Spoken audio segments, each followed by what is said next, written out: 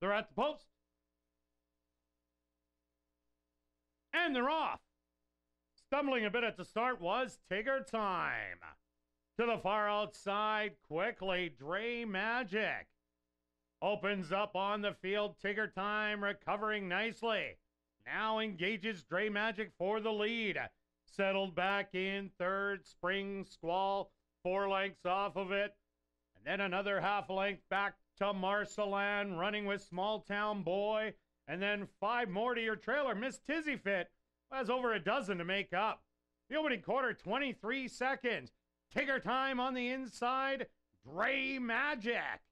On the outside, now giving way. Back in third, making up ground. That's Marcelan as the rails wide open. Back to small town boy, Miss Tizzy Fit.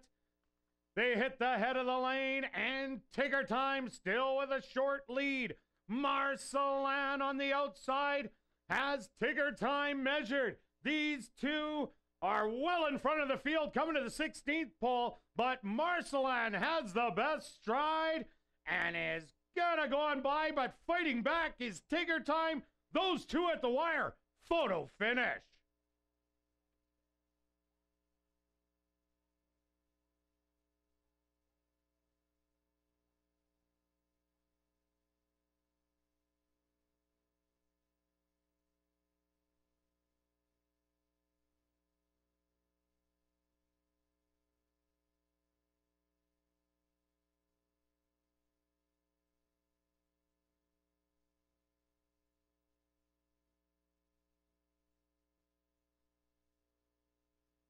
Now entering the winners, winners enclosure is the official winner of race number three. That's number three, Marcelan. Marcelan is a dark bay or brown gelding, four years old, by Stormy Atlantic, out of the mare Colorino, by Include.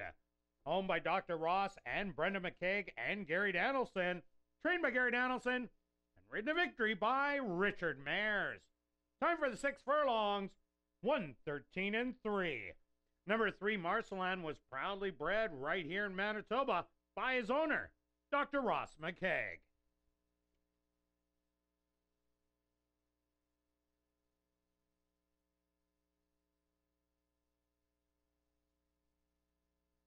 Race three is official in the upcoming fourth race.